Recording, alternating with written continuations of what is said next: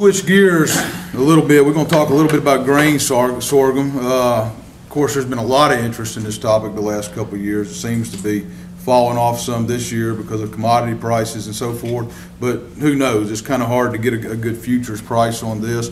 We had a, a big meeting with the National uh, Sorghum Checkoff Board last week. They seemed pretty optimistic that there would be some pretty good price support, you know, before we get into planting. Who, who knows? It's too early to tell. Uh, Nevertheless, there will be some people that grow grain sorghum regardless. Acres will fluctuate, I think, widely uh, in our area uh, because we have the ability to switch a lot of crops and take advantage of commodity prices no matter what it is. So it will come back, but when it comes back, there, of course, now with the sugarcane aphid, uh, there's some things that, that are important to know going into this. Uh, I get asked all the time, and I'm not going to concentrate 100% on, on sugarcane aphids, but of course, we'll talk about that a lot. Uh, we have other issues. A lot of people are not, are thinking, hey, I don't want to go grow grain sorghum because of sugarcane aphids. Honestly, I don't think that's a, a good reason. If you look, Lauren and I were talking about this uh, before the meeting, and, I, and I'm not familiar with all the states' independent budgets, but I'm sure I'm sure they're very similar. If you look at our, our enterprise budget uh, that our economists put out at Mississippi State, and if you look at all the commodities, actually grain sorghum at 450 and 100 bushels is the only one that really pencils out pretty good. Now that's you know that's for that yield gold and that price, which which we were above that last year on some contracts. So it is a good crop, and it does provide, just like Lauren said, uh, an ability to switch herbicides, which is a big deal. And we all, a lot of people have marginal acres, and it fits that really well, and it's a great nematode. Uh, so it has a fit. The acres we grow will, will fluctuate, obviously, from, from year to year. But going into this thing, I only put this in here, I'm not gonna spend any time really talking about chinch bugs, except to say, a few years back, we pretty much got away from seed treatments in grain sorghum as a, as a standard or an automatic with the seed companies. And the reason that we did that mainly was because you can plant half the world with a bag of grain sorghum, and there was a huge sticker shock for our growers. And when they price that bag, even though you're getting whatever, 10 acres, whatever you, your seeding rate is, out of a bag, it was a, a pretty big sticker shock. So people were opting out. So therefore, about the only crop we were treating ch- chinch bugs in was grain sorghum, and it was on the acres where we didn't have, have seed treatments. Seed treatments are more important today than they've ever been. It is an absolute must, in my opinion, in grain sorghum because we're seeing 35, 40 days break before you have to start treating sugarcane aphids. The seed treatments are phenomenal for sugarcane aphids, of course, throughout uh, till they till they start dissipating. So it's a must in today's environment. And in fact, I know Pioneer and, and I think DeKalb, it's back to standard. Uh, if you order, you're going to get probably concept and, and a seed treatment. We're not seeing big differences whether it's cruiser or uh, poncho-based clothianidin or thiamethoxam, they both seem to be performing, but it's a must in today's today's environment. On a side note, there has not been a lot of work on the value of seed treatments in grain sorghum over the years with, with the sugarcane aphids not in the picture. So we have a grad student that's actually working on that, and we got to about 12 or 15 trials in the last couple years. In the absence of sugarcane aphids, where we're just spraying the heck out of it, trying to keep them out to evaluate the benefits of the seed treatment themselves, we're somewhere around seven bushel advantage in grain sorghum. Don't quote me a lot on that, but the last numbers I looked at, so there's an advantage either way. So keep that in mind. Um, the seed treatments are a hot topic right now for a lot of reasons, particularly some of the, the pollinator things. I would really encourage y'all at this next session to go. Scott Stewart's in here. He's going to be in room two, but he's going to be addressing uh, some of the issues that we're facing um, right now in the industry as related to pollinators, and, and that'll be a, a good open discussion, I think, going into it.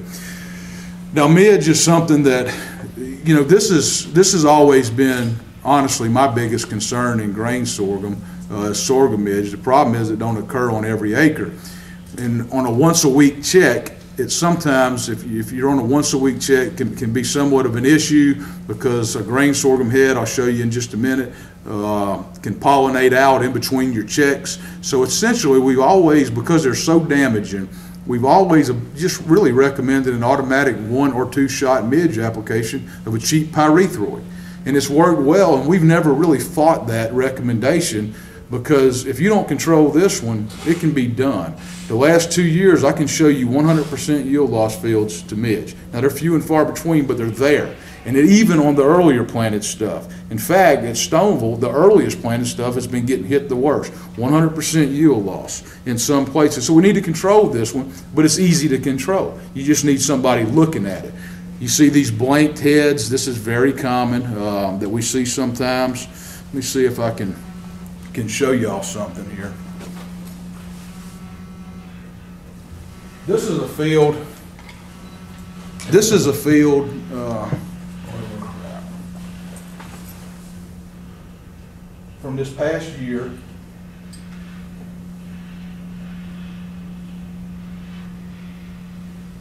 This is a really weird screen. I'm not seeing what you're seeing. that's why. That's why I'm trying to, to show you this. I got to get down here. Hold on a second.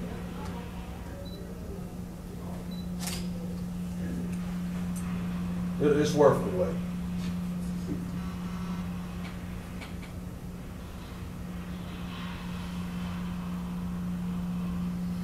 So this is a, this is one of our, one of our plot fields last year. What this is, is this is midge, and you can see there's not a lot of damage. This was field was sprayed for midge, but this is when they were emerging out. This is just showing you what we missed. And we have other examples, some pictures from Stoneville, and you see the little, the little midge. This is sorghum midge, all of this. But this is, like I said, coming out, uh, what's emerging out of some of the heads that we missed. So midge are around. They typically are way worse on your later planted stuff. Uh, but I just thought that's a pretty good visual, gives you an idea of something about the size and so forth. But it's a pretty good visual on uh, what went through, even with, with good scouting.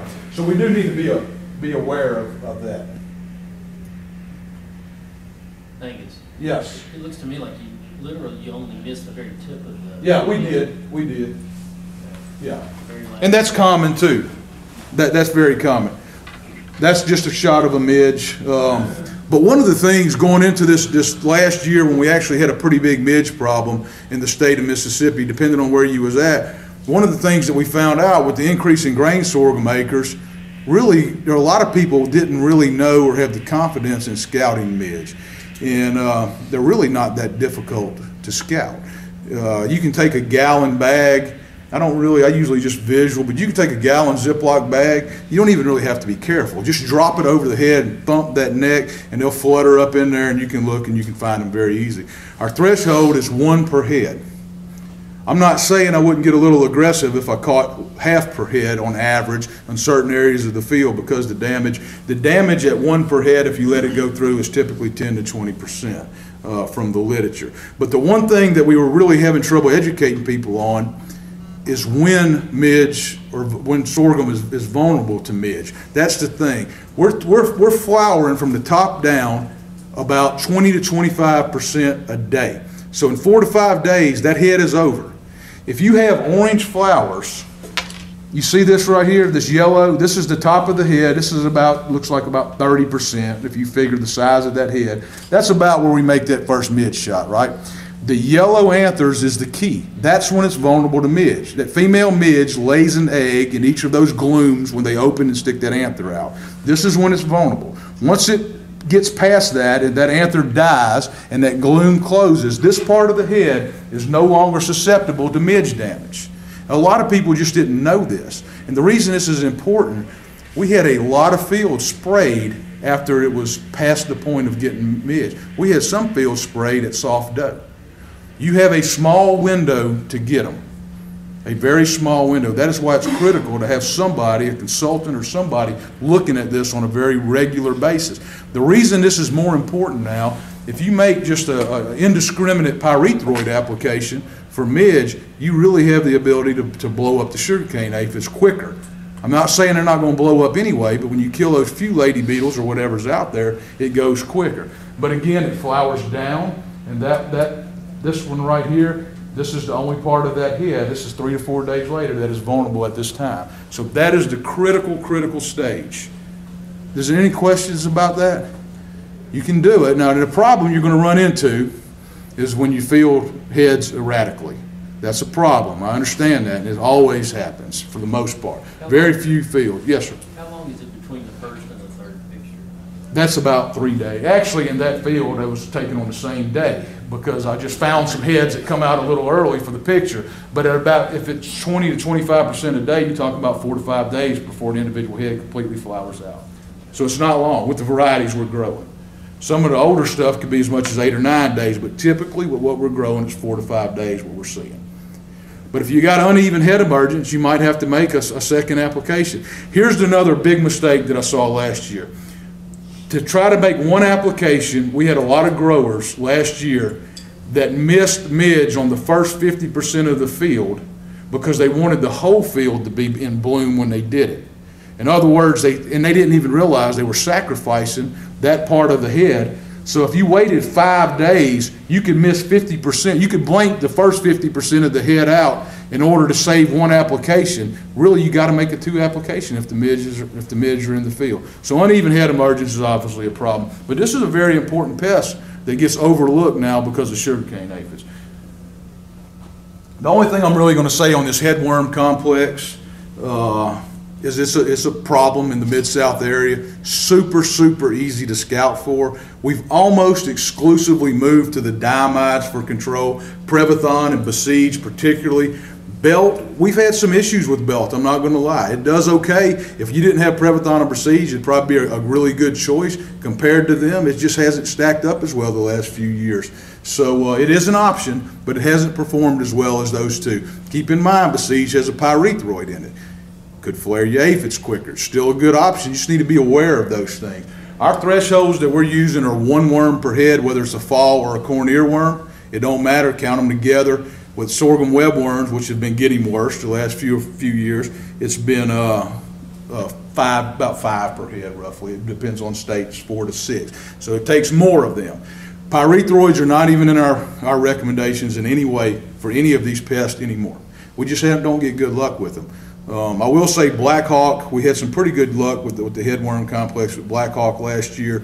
I'll be honest, we're, you know, there was a big push for Black Hawk for sorghum midge. It's not going to flare the, the aphids. We're not in any state right now in the Mid-South, you will not see Black Hawk as a recommendation for sorghum midge. Our results are just, they're all over. We're not going to recommend it. We're not comfortable with that recommendation yet, and our, our data would support our position. So you take that how you want, but it's not going to be in our recommendations. I'm not recommended, in my area, I'm not recommending chlorpyrifos or dimethoate. They're okay, but they're not good. Even though it will flare aphids, if you really have midge, I'm still recommending real low rates of pyrethroid. We deal with one problem at a time. That's just my recommendation.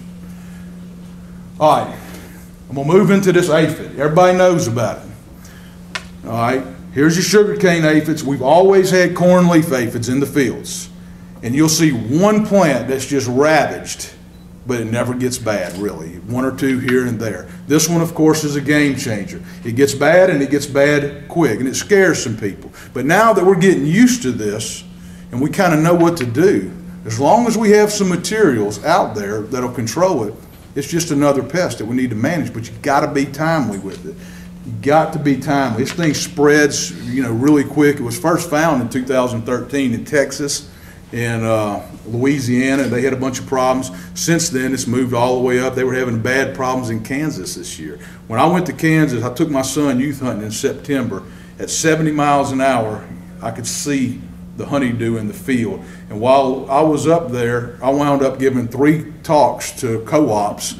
They thought at that time, and I'm not throwing Kansas, you know, under the bus at all, but that it, the message had not made it to that area how bad this was and they thought it was just a harvest problem.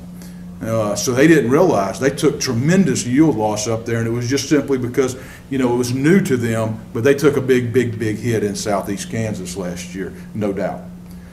Uh, this is just 2014, how quickly it spread through Mississippi. This is some of the stuff that you can get. Early in the season, it tends to seem like this aphid, uh, of course, you, you, make it almost to boot, a little, maybe a week, 10 days before boot, before your seed treatments break. When you first start finding this aphid, you need to increase your scouting to twice a week. I know it's a pain, uh, consultants, you know, having to double back on 500 acres of grain sorghum, but it's a must. And once you get to about the third week of July, that's when things just seem to really intensify. And they can go from, you know, just a little bit of an issue to, you know, seven to 10 days you know, it can go across the field. So you got to increase the frequency of the visits uh, to the field. And what we're telling people right now, there's a lot of people working on this across the, the, the whole South. Anybody that's growing grain sorghum, their state's working on it in some capacity. I like to just get one of the sticks with a sweep net. There's lots of methods. And walk out there, stick it under the canopy, and lift and walk fast. And I'm not worried about finding one aphid. I want to find that cluster, which you can find really, really fast. And once you find them, that's when you need to start stepping up your scouting a little bit. And that seems to be very, has been very successful for, for us so far, so far. But this is actually the difference in a seed treatment and no seed treatment on some late planted stuff. Um, this is actually some stuff I just let go, and they killed it. But I mean, again, that's just seeing what they will do. The pre-boot stage, I think, is, it can all be bad, but the pre-boots, or I say pre-boot, about boot, before the head, before panicle emergence can be the worst. Um, because it can keep the head from emerging. And some, some of you agronomist type probably know a lot more about this. I'm assuming it just takes a lot of energy for a plant in a boot stage to push a panicle out. And when you get a lot of aphid pressure, some kind of stress on the stress, it fails the head. And the whole fields will not head. And you'll see this, it's very obvious. If, they, if you get an infestation that gets bad prior to heading, this is not uncommon. So uh, if you let it alone, you think it's you know it's over. A month later, it'll stick out ahead. Best I can tell, though, it only does about a third of what the normal yield will be, but it will put another head out by the flag leaf uh, if you leave it alone, because the aphids leave after they kill it, and it'll it'll come back, uh, believe it or not. But it, it's almost not worth it. Now this this is something. The first thing that we did in 2014, myself and Jeff Gore just started putting out a bunch of tests. We needed to understand the potential yield loss with this thing, so we could figure out how aggressive we need to be. This is only seven trials, but it was some sprayed, unsprayed stuff. So basically, what this is, and I made up this stage by the way. I don't think that's a real stage. It's basically a week before for boot, roughly. But uh, a, a, during this period, and this is due to non-heading, if a population hit that stage, hit that stage grain sorghum at about 20, at a 20% level, that's when it hit 20% level, was at that stage, we saw 81 to 100% yield loss when there was no treatments made. At the boot stage, we had a couple of different tests there. It ranged 50 to 70%. When the head was coming out, if we hit 20% aphids at that point, now you're assuming at this point that they're going to get worse. But that's just when it hit 20%. It was up to 67. This is the one, though, that I'm more concerned about right here because this seems to affect the bigger number of acres. Even at the soft dough stage, if when these populations hit a 20% level at as late as soft dough, we still saw a 20% yield loss. So you have the potential to lose yield with this thing all the way up till you get the hard dough. And then you run into some other issues which like like uh, harvest problems. I got another video I'd love to show y'all, but the way that last one did, I, I actually got time. I think I'm gonna show y'all, but it's aggravating. Trying to get this thing to.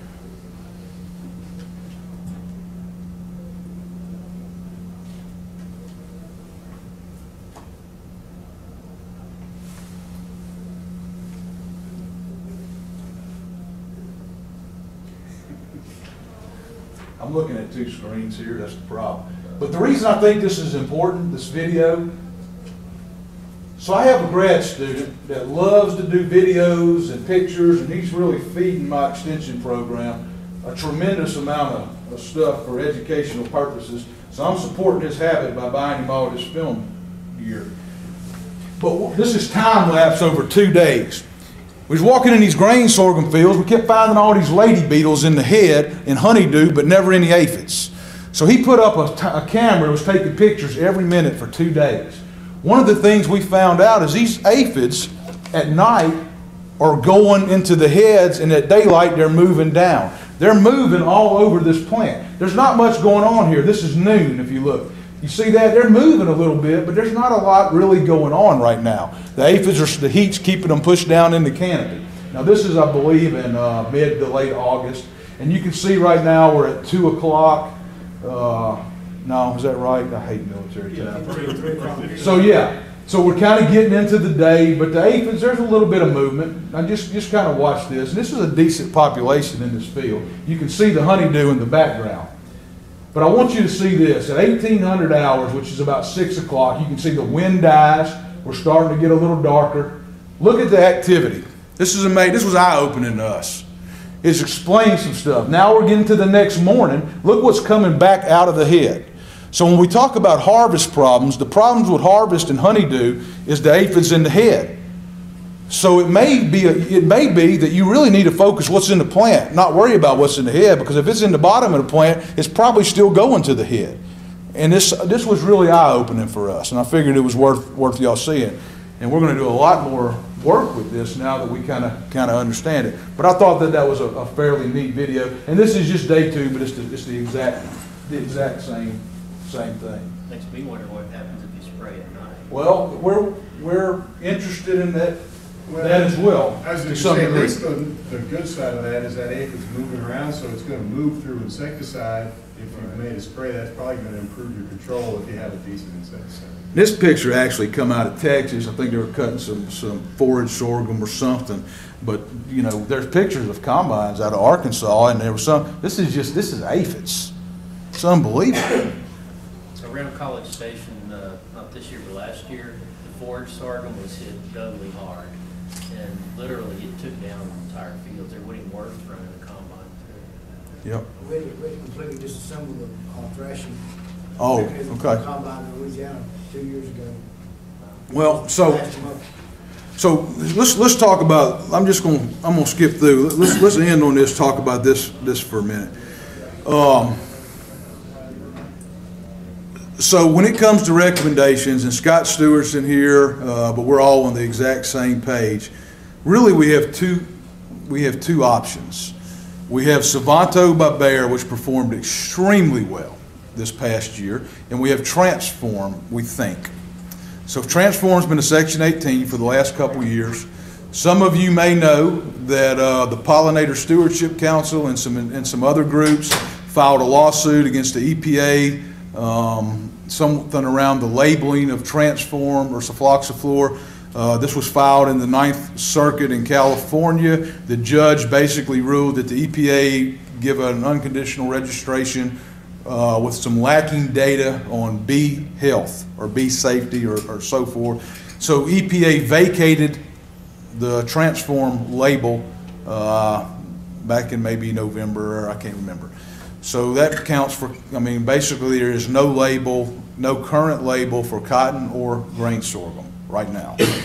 Um, We are allowed to try to, to get Section 18s.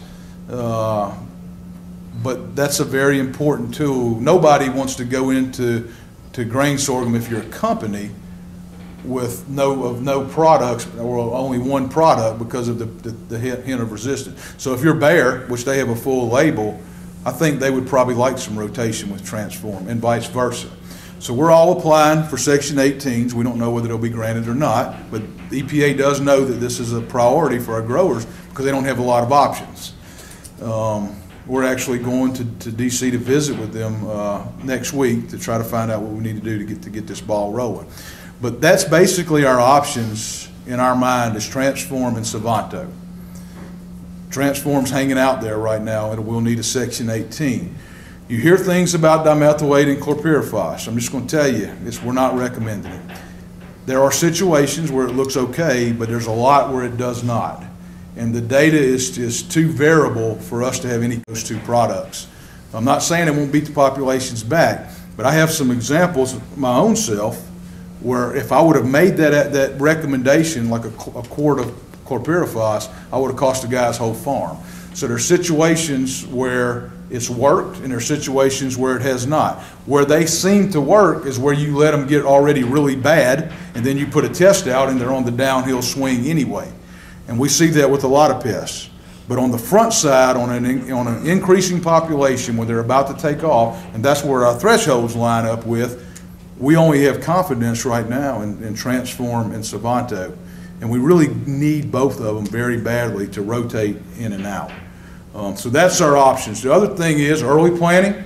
That's still probably, you know, within the recommendation. Now, keep in mind, I don't mean like March beans, you know, but, but on the early side, uh, we're doing a bunch of work with plant populations, and I didn't see what I thought I was gonna see this year. There was somewhat of a difference.